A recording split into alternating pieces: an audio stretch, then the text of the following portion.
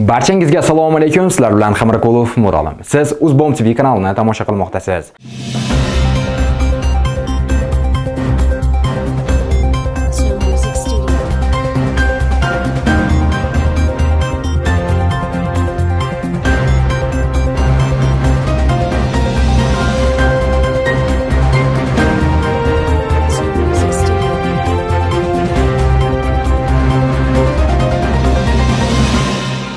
Azizlar, shou biznesda nima gap? O'zbek blogerlarini orasida nima gaplar bo'lyapti deb savol berishingiz mumkin. Men sizlarga bugun Jahongir Otajonov va Ozodbek Nazarbekov orasida bo'lib o'tgan hozirgi kunda qora mishiq o'tib ketibdi va konflikt ketmoqda. Endi bir-biriga atvetlar bugungi videorolikimda ko'rsataman va shu orada bizni Erkinjon Urinovich degan blogerimiz ham bor. Mashennik bo'lganiga, ya'ni mashennik degan mishmishlar tarqalmoqda.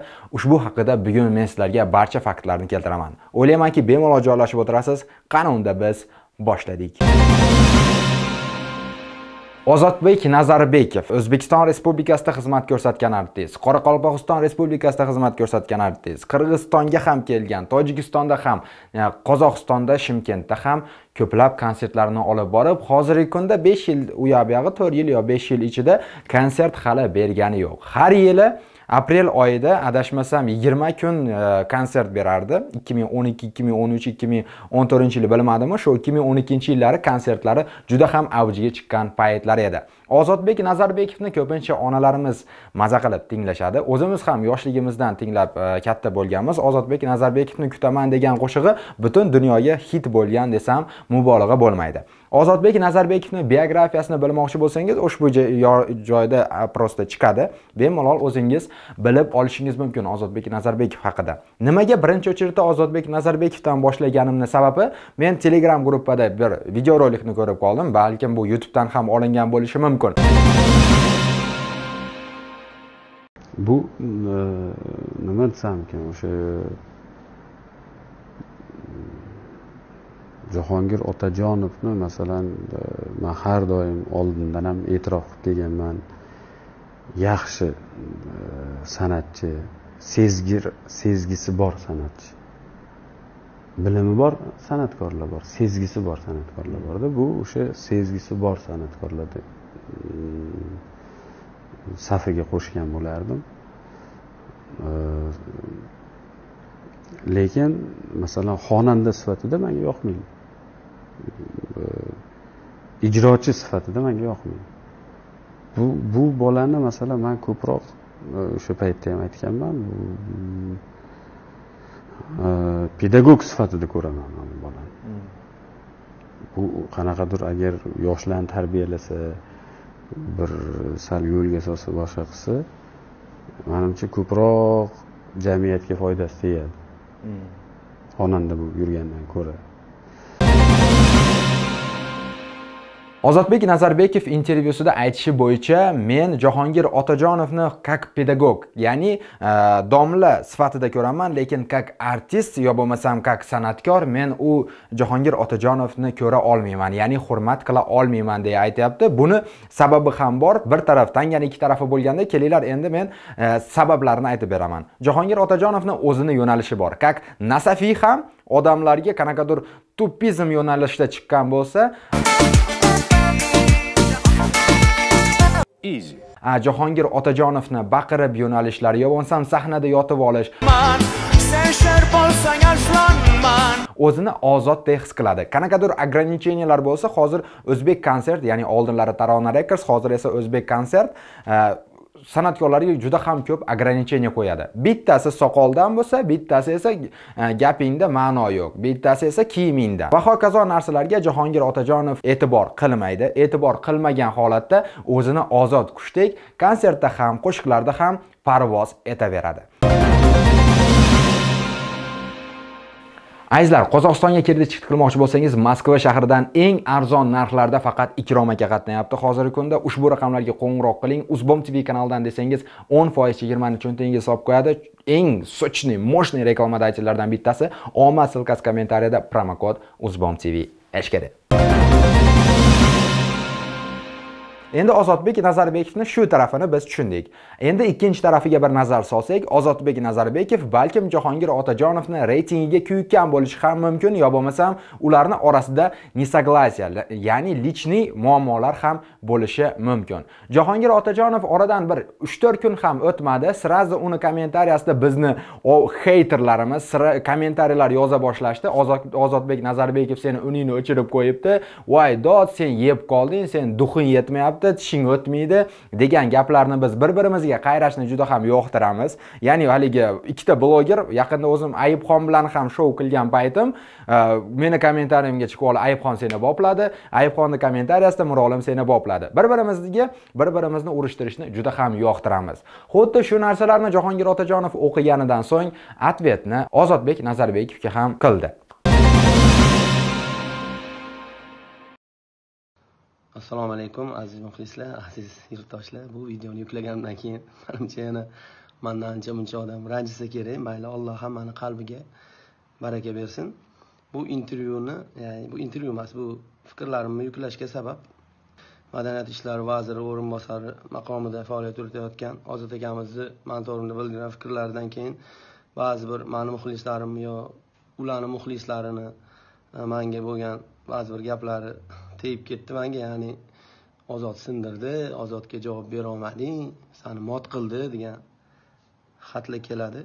Endi o'zi aslida intervyu berish niyatim yo'q edi chunki xonanda sifatida bilasizlar man ularni hech qachon anaqa qilmaganman hali yomonlamaganman lekin как professional sifatida ularni faoliyatini hech yaxshi baholamaganman uni tan olaman. U kishi ham shu haligi jurnalist shu jahongir otajonov haqida fikrlaringiz? degan joyda jahongir otajonovni xonanda sifatida yoqtirmayman degan. Ya'ni yaxshi ko'rmas ekanlar mani bunga haqlilar chunki har bitta inson o'ziga yoqqan san'atkorni eshitishi va yoqmaganni yoqmaydi deyishga haqli. Ya'ni to'g'risini aytishlik bu albatta allohga ma'quldir. Akamiz ham o'zlarini to'g'ri fikrlarini bildirganlar to'g'ri fikr sifatida allohga ma'qulmi? Bizga ham bu ma'qul. Lekin jurnalist nimaga o'sha yerda savol bermaydi? Yo bo'lmasam o'sha manga xat yozayotgan sani ozod sindirdi e, intervyusi bilan yeb qo'ydi degan xarakterdagi xatlarni yozayotgan muxlislar yo bo'lmasam ularni e, yurtdoshlarimiz e'tiborliroq ko'rmaganda man ko'rdim bu anaqani intervyuni. E'tiborliroq ko'ringlar. U yerda shunaqa narsa borda u yerda madaniyat vazirining o'rinbosari Э, ya'ni o'zini fikrini nima deyotganini saviyasizlarcha anglolmagan ya'ni aytyaptiki manga bu xonanda yoqmaydi deyapti. Haqli. Lekin mani o'qituvchi ya'ni ashula aytib yurgandan ko'ra o'qituvchi bo'lib faoliyat yuritishimni tavsiya qilyapti. Bu bilan nimaga jurnalistda yo bo'lmasam savol paydo paydo bo'lmaydi. Ho'p ozod aka siz madaniyat vaziri o'rinbosari maqomidagi insonsiz. Ya'ni bu masalada 35 millionlik xalqimizni ba'zi bir masalalarda javobgarsiz. Ya'ni ma'naviyat san'at masalalarida. Siz o'zingizga yoqmagan xonandani o'qituvchi qilib va u tarbiyalagan yana sizga yoqmaydigan ya'ni uni tarbiyasidan kelib chiqqan holda sizga yoqmaydigan san'atkorlarni o'zingizni xalqingizga madaniyat vazirini o'rinbosari sifatida qanaqa qilib ravo ko'ryapsiz? degan savolni nimaga bermaydi? O'shandan keyin bu yerda na bir jurnalistga na bir xonandaga yo bir na bir madaniyat vazirini o'rinbosariga qanaqa baho qo'yish mumkin? O'sha o'sha ikki ming o'n birinchi yildagi gap.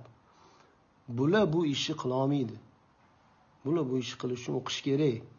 Qayerda o'qiganini qayerda tahsil olganini bilish kerak. Qaysi kitobdan o'rgangan bular ashula aytishni o'zbek san'ati nima? O'zbek san'ati adabiyoti tarixi teoriya solfejo garmoniya musiqashunoslik maqom degan narsalarni bilish kerak bunaqa degan odamlar. Bilmasa mana shunaqa qilib manga ashula sifatida yoqmaydi lekin o'qituvchi bo'lishni tavsiya qilardim degan safsatavozli ovozli fikrlarni bildirishadi. Sog' bo'linglar. Mani javobim shu. Agar mani javob berishimni qiziqtirayotgan odamlarga muxlislarga. Lekin jahongir otajonov немножко грамотно javob bergan? Albatta so'kinishlar yo'q bu yerda. Bu yerda hammasi грамотно o'zicha bo'lyapti. Lekin hozirgi kunga kelib 2019 yilda e, shou biznesdagi barcha odamlar bir biriga ответ qilishlari kundan kunga rivojlanmoqda. No bu narsa oddiy holat desak mubolag'a bo'lmaydi. Agarda ular ответ qilmasa yo bo'lmasam bir biri bilan qanaqadir vызовlar jo'natishmasa e, oddiy ko'cha tilida aytganda battlelar qilishmasa hayot zerikarli bo'lib qoladi. Shou biznesda biror bir kamchiliklar yo bo'lmasam urushlar yo bo'lmasam bir biriga qanaqadir nesoglasiya tushunmovchiliklar bo'lsa bizga albatta mavzu bo'ladi. Sizlar aytgandek va sizlarga xabarlar ham yetkazamiz. Shou biznes kundan kunga qiziqarli bo'lmoqda. Ya'ni blogerlar bilan shou biznes orasida juda ham katta bir o'zgarishlar bo'lyapti desak mubolag'a bo'lmaydi.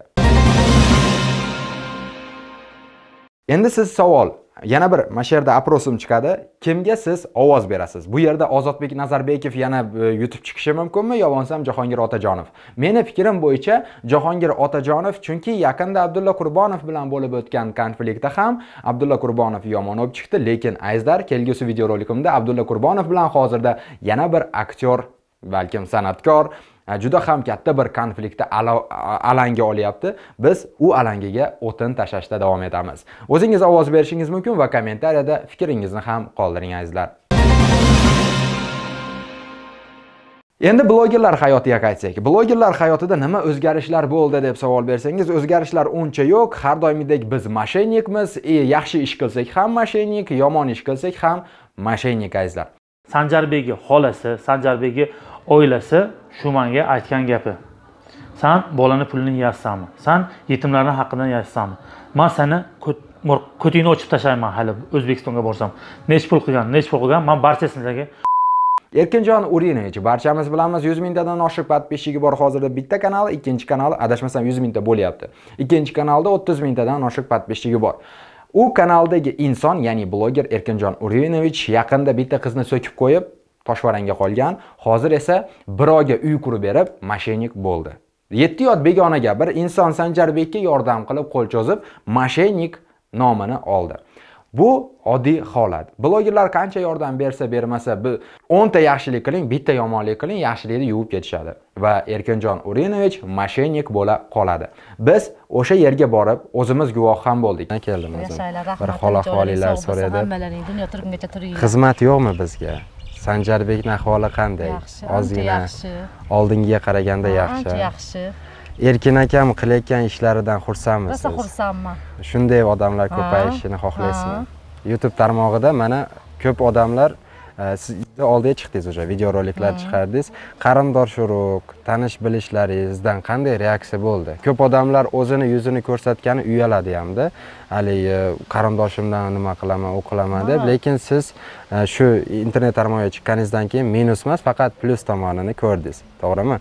Shu uyalayotgan odamlarga nima deya olasiz shu tomondan? Endi nima deya olasiz o'zimni o'zim mana shu uyim bo'lsin shu o'g'lim bo'lsin deb uyalmay chiqaverdim. Albatta, harakat qilish. yomon yo'lga yurmasam. Albatta shuni orqalaman chiqaveraman dedim. Kim ko'rsa ko'rarsa mani dedim shu shu narsa kerak. Ko'p odamlar shunday fikrlay olmaydi va youtube tarmog'iga chiqish internet chiqarish esa sharmanda bo'laman oq yo'q ko'k deb sharmanda o'ylaydi. bo'lmayman. Halol halol anaqa qilishni yaxshi ko'raman o'zim mana chiqdim mana erkinboy bechora shunchalik yordam beryapti больницаga bechora olib boradi olib keladi tanijoning sog' bo'lgin shularni onalarini ham tuqqanlariga rahmat. Deb o'tiribman shu shunchalik buncha buncha odam shunchalik olib yurmaydi. Bu bola man bilan mana bolamni anidan bir maydan bir mana harakat qilib yugurib yuradilar. Bechora doktor gaplashadilar mana.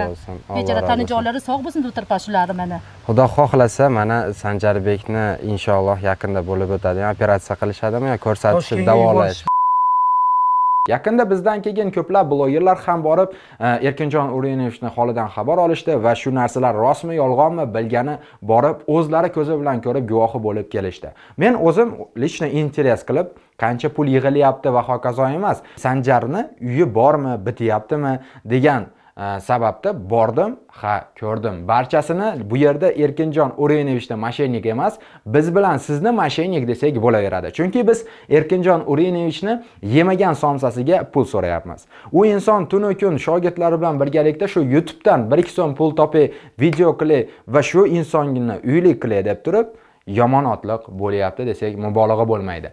Va shu orada bilib qo'yingki sanjar sanjarbekni onasi men o'zim ham o'sha yerda intervyuimda so'raganimda shu siz uyalmaysizmi deganimda men boshqa gap kutuvdim. To'g'risi uyalaman yo bo'lmasam ilojim yo'qligidan boshqa ilojim yo'q degan gaplarni kutuvdim. Lekin o'sha yerda men psixologически bu ayolni ko'rgan edim. Chunki biz sankt peterburg shahrida yurgan paytimizda ham rustam rahmonov ham adashmasam aytibdi bunday insonlarni biz juda ham ko'p uchratganmiz.